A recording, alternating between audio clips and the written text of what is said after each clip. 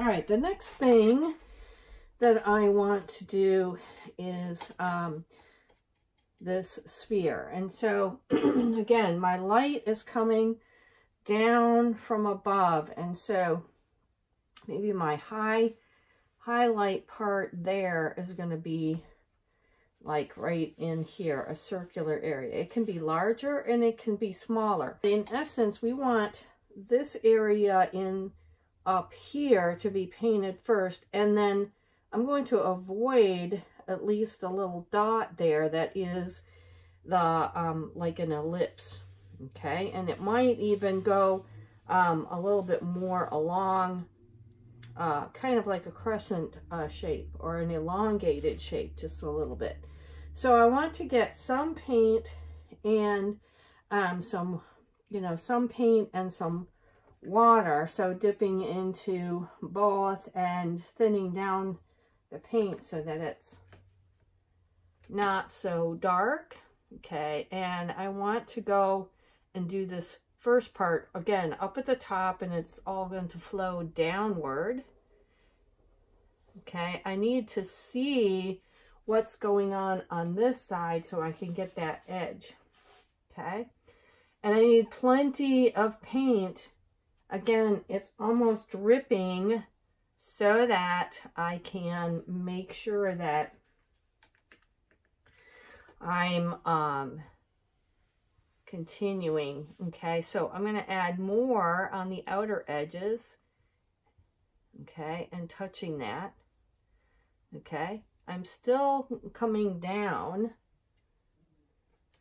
Okay, and going a little bit more in a circular manner rather than straight lines across. Okay, and I'm going to pick up more color from my palette because I want a heavier color and coming around and touching that.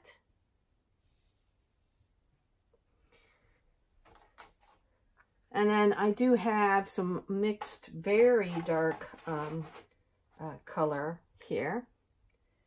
And coming around and doing the heaviest part um, of the color. And the brush, I'm also kind of swirling it around like in a crescent, okay?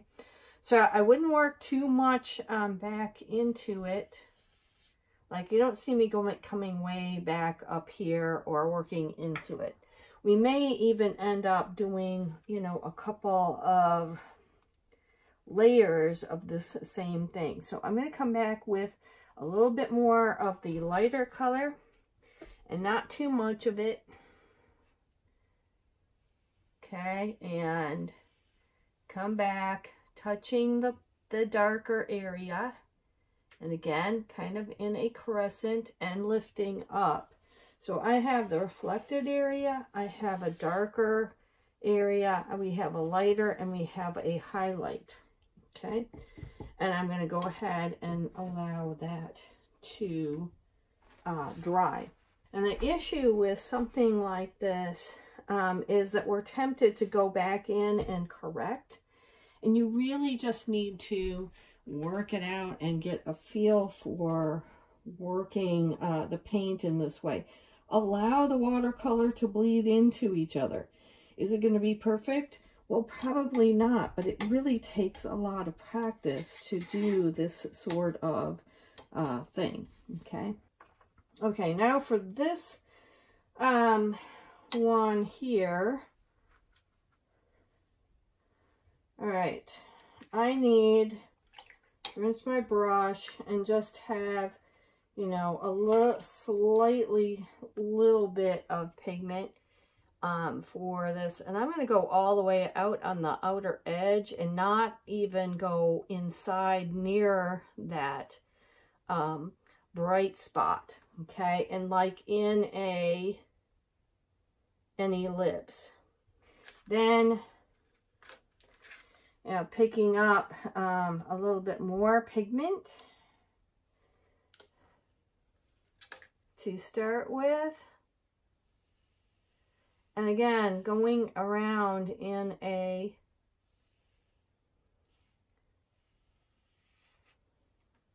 a circle, but not coming into too much here, okay? Um, I need much more pigment, so I'm adding some here.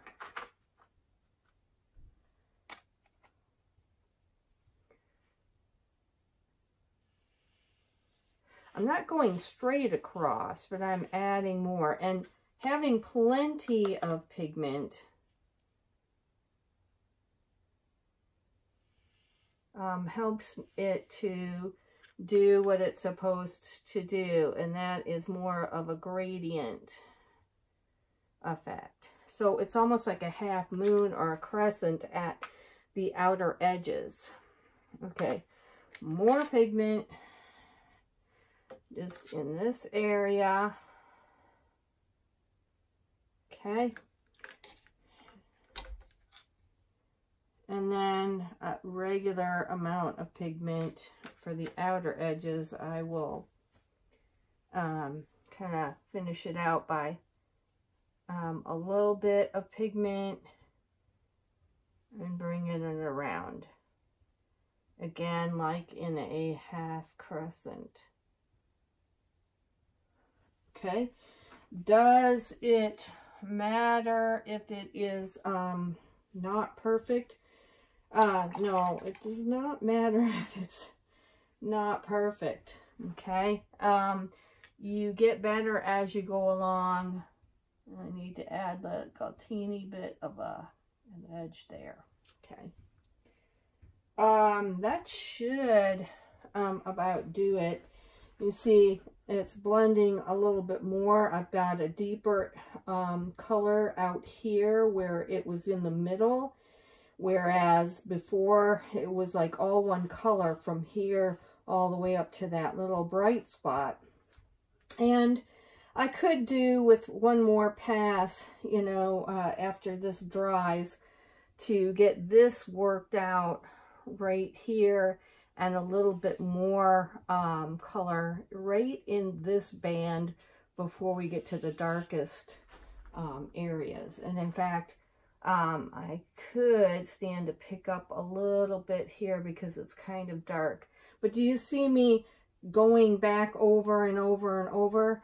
No, you, you really have to stop at a certain point. It's so tempting to make it so that um, we keep going over it um, what I need to do is not paint in this area anymore and bring this around a little bit with more color down here.